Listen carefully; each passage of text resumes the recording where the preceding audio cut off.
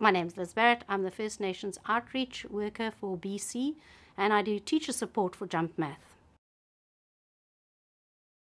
I know that jump math works. I've seen it in communities around the country. I've seen little one one room schools where you have teachers working with children from grade 1 to grade 7 who are so depressed by this in the enormity of the job. And when I bring them the jump math materials and I share the strategies and activities and things that they can do with their children, these teachers are just so excited. They the, their energy levels are just revitalized. I had, a, I had a group call me the other day from one of the northern communities, and there was a young adult there who had not passed a single exam during her school life, but now she wanted to go out and become um, take a take a trades course, and she just couldn't pass her math.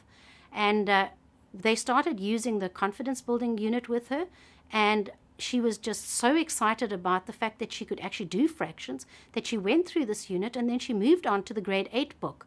And within six months, she managed to pass her GED with 86%.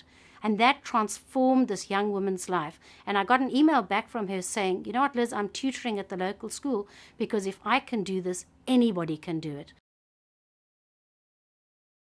The teacher manual is an absolute masterpiece. People have worked on this, they've thought about it. There's been feedback from teachers as to what works, what doesn't work.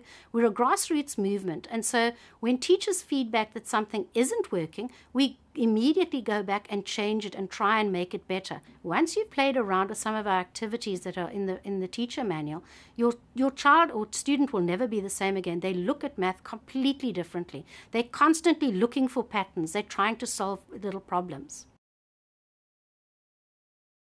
Wherever you are in the world watching this, I want to suggest that you really try our material. It's free and it's available to you, and I know you're going to have a lot of fun with it. So download the material, test it out in the class, give us feedback, and go forth and multiply and do it with fun.